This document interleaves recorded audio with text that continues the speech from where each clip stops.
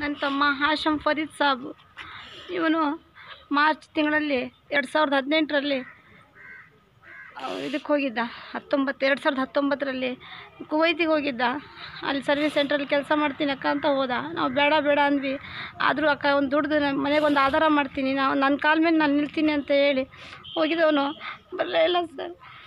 ಮೊನ್ನೆ ಇಪ್ಪತ್ತೇಳನೇ ತಾರೀಕಿಗೆ ಕಂಪ್ನಿಯವರು ಫೋನ್ ಮಾಡಿ ಇಪ್ಪತ್ತು ಐದರ ತನಕ ನಮ್ಮ ಹತ್ರ ಚೆನ್ನಾಗಿ ಮಾತಾಡಿದ ನಾವು ನನ್ನ ಅಕೌಂಟಿಗೆ ದುಡ್ಡೆಲ್ಲ ಕಳಿಸಿದ್ದಾನೆ. ದುಡ್ಡು ಅಕೌಂಟಿಗೆ ಕಳಿಸಿ ನನಗೆ ಒಂದು ಫೋನ್ ಮಾಡಲಿಲ್ಲ. ಅಕ್ಕ, ದುಡ್ಡು ಕಳಿಸಿದ್ದೀನಿ ನಾನು, ನೀನು ನೋಡು ಚೆಕ್ ಮಾಡು ಅಂತ ಹೇಳಿಲ್ಲ ಪ್ರತಿ ಸಲನೂ ಹೇಳ್ತಿದ್ದ ಚೆಕ್ ಮಾಡಕ್ಕ ಅಂತ ಹೇಳಿ. ಈ ಸಲ ಹೇಳಲೇ ಇಲ್ಲ. ನಾನು ನಾನು ಎದುರಿಗಾಗಿ ಫೋನೆಲ್ಲ ಮಾಡ್ತಾ ಇದ್ದೆ, ಆದರೆ ಇದೇ ಮಾಡಲಿಲ್ಲ.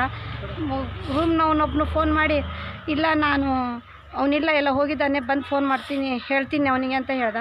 ಇಪ್ಪತ್ತೇಳನೇ ತಾರೀಕು ಏಳು ಕಾಲು ಗಂಟೆಗೆ ಸರಿಯಾಗಿ ಕಂಪ್ನಿಯವರು ಫೋನ್ ಮಾಡಿ, ಸಮುದ್ರಕ್ಕೆ ಸ್ವಿಮ್ಮಿಂಗಿಗೆ ಹೋದವನು ಬರಲೇ ಇಲ್ಲ ನಿಮ್ಮ ತಮ್ಮ ಅಂತ ಹೇಳ್ಬಿಟ್ಟ.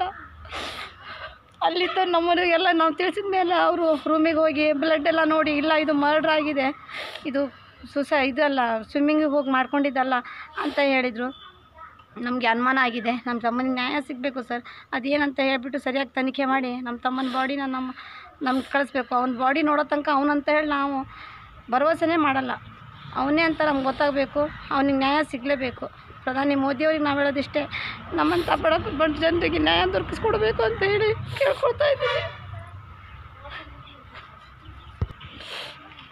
ಈ ಕೇಸಿನ ಇದಕ್ಕಾಗಿ ನಮ್ಮ ಮನೆಯವರು ಮತ್ತು ನಮ್ಮ ತಂದೆಯವರು ಹಾಗೂ ನಮ್ಮ ನಮ್ಮ ನಮ್ಮ ಮನೆ ಸಂಬಂಧಿಕರೆಲ್ಲ ಸೇರಿ ಎ ಸಿ ಹತ್ರ ಎಲ್ಲ ಹೋಗಿ ಡಿ ಸಿ ಹತ್ರ ಎಲ್ಲ ತೊಗೊಂಡು ವಿಧಾನಸೌಧಕ್ಕೆಲ್ಲ ಹೋಗಿ ಬಂದಿದ್ದಾರೆ. ಆದರೂ ಅದು ಇನ್ನೂ ಏನಾಗಿದೆ ಅಂತಲೇ ಗೊತ್ತಾಗ್ತಾ ಇಲ್ಲ.